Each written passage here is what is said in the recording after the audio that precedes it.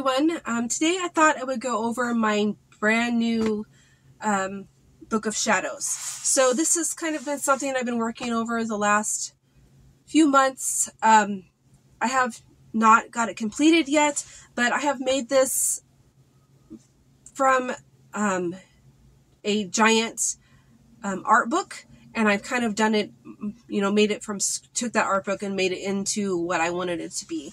So this is what it looks like. Ooh, it is huge. It's, I think it was 300 pages, but it's a ginormous art book. Um, it's just one of those black ones. And um, I found it on Amazon and it, it's a huge book. So if I remember right, it was 300 pages. And I was like, I wanted to do something different than the binder that I've always used. I wanted to do something more creative and um, so this is what it's come out like.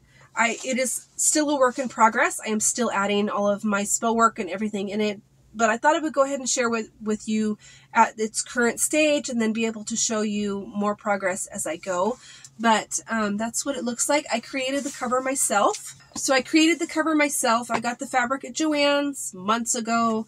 Um, I used my Cricut to do the iron on. Um, I created the, I don't know if you can tell, but all of the wording is um, double layered. So it has like the pink layer and then it has like the shadow silver layer underneath. So I created that on my Cricut. It also has um, iron on on the spine. So it has a pentacle up here and then spirals down here because, you know, um, the Celtic Pantheon is my heritage, so I like to add that in. Um, and then I've done the page tabs on my Cricut as well. I just took a bunch of different shapes and then I put a score line in the middle so they would fold nicely and they turned out really neat. So I am going to go ahead and move to my other setup so we can get a close-up look and I'm going to go through each little section with you. Um, I may not go into great detail, but um, I'm just going to kind of give you an overview. And then as my book grows and I get more stuff put in it, then I can do um, like update videos. So I'm going to go ahead and do that. Okay, so here's a close-up view, view of the cover. So I, like I said, I did all of the iron on and um, made the cover myself. So this is what the inside looks like. It's just some stuff on that I wanted to add on witches letters. Um, you'll find scraps of paper throughout my entire book.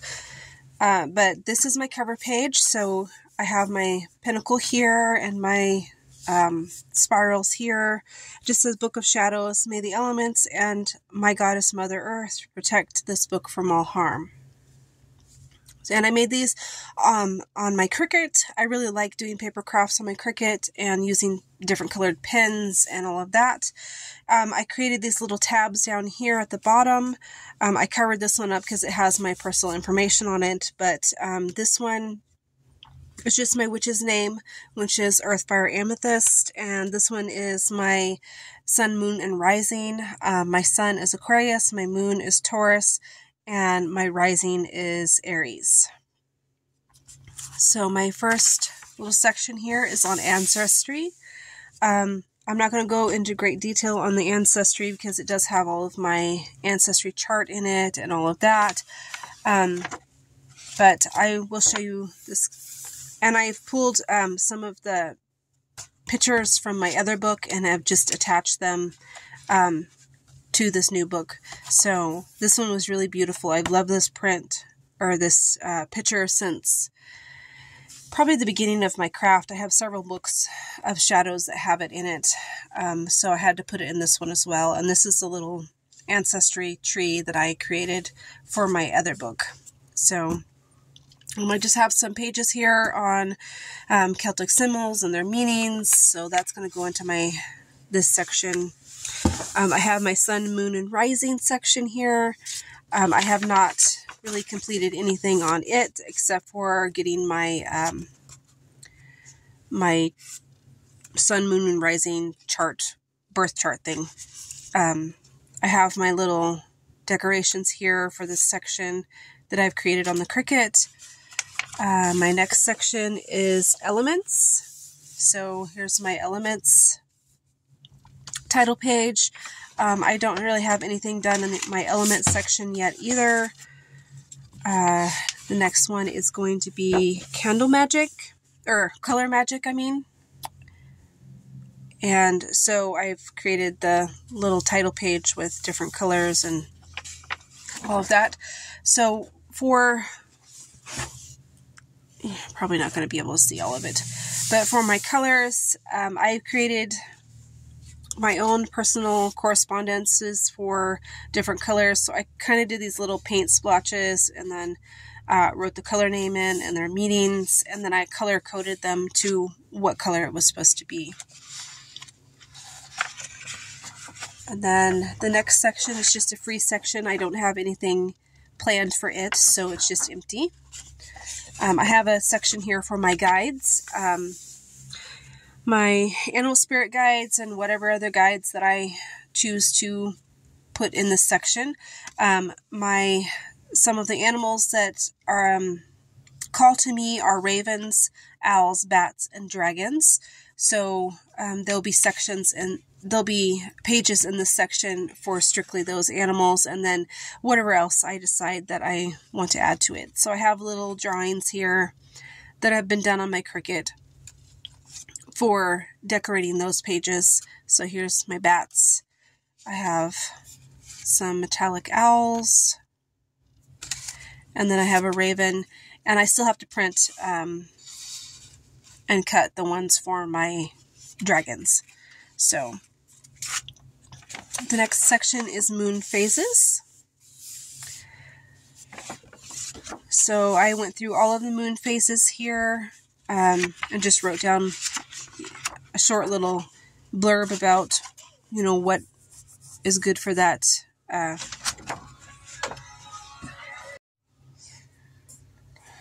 so this section is just on um, the moon phases, and then I'm gonna add like workings that are done with the moons. Like I have moon water here, um, but I haven't got very far with that so the next session section is going to be for sachet workings, which I have not uh, created a title page for yet.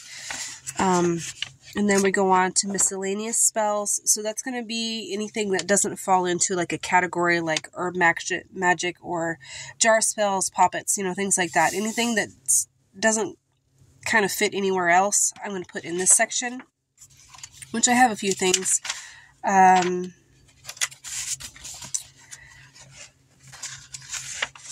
So um, that's going to go in this section. I don't have anything in it yet. So the next section is going to be for herb magic. Um, herb magic is a big part of my practice, so I know I, I had to have a section for it by itself. So I just have my little title page from uh, my previous book of shadows, and then I just started writing in anything that pertains to herb magic. So, like, I have my black salt here, um, I have my dragon fire powder, money protection salt, money powder, uh, green money rice, um, and then it just goes on. So I have like hex breaking powder, firewall protection powder, friendship powder, return to sender powder, banishing powder, and so on. Um, then the next section is my jar spells. I really liked how this one turned out. And not just because my favorite color is pink, but um, I love how the little cutout um, stars are really cute. And these bottles are really gorgeous. So I don't have anything in this section yet. Um, I'm slowly getting stuff put in, but I've started working on mainly the, the spell work sections. And um, yeah, the other sections will be filled in after that. So these are magical oils. So I have amethyst oil, rose quartz oil, money oil, prosperity oil. I have a business success oil, and that's as far as I've gotten on that section. So I have a section for candle spells, and there's nothing in it yet. Um, a candle, a section for petition spells. I think petitions are very um, useful way of doing magic and very a very powerful way. Um, I think it's overlooked a lot. Um, I love to do petitions and then burn them, and I thought I needed a section in my book for writing down um, petitions that I want to remember and maybe use again if I need to, which that section's empty. Um, I have a poppet section here. Isn't that the cutest little poppet? I hope that you can see that.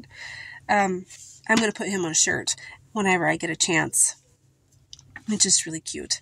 So I have a section for poppets, and I don't have any of my poppet work in here yet, but um, I have a section for sigils. As I had said in my last video, sigils are becoming a uh, huge part of my practice, so I wanted a place to write, not necessarily write down the sigil that I create, but maybe the phrase that I'm using to make the sigil with. Um, I think that the sigil, part of making the sigil is creating up, you know, creating that little bit of artwork. Um, as you're doing it magically, that's what's gonna uh, create the the magic for the spell. So um, I thought that this would just be a good idea just to write down the phrases that I'm using for um, the sigils and then creating new ones if I want to use that phrase again. And then the last two sections are just um, empty sections that I can, you know, add something else to my book. So that is my new Book of Shadows. I will probably do updates every now and then on how it's progressing, and um, I really am loving it. It's turned out really nice, and I love the fact that I can use my Cricut and get you know nice pieces of artwork in um, in my book because I'm not an artist. I can't draw to save my life, so it's a good way for me to do that and I'm really enjoying doing it. I wish I had more time to spend on it um, than I do, but um, I will keep you updated on um, how it's coming along, and I will see you next time. Blessed be.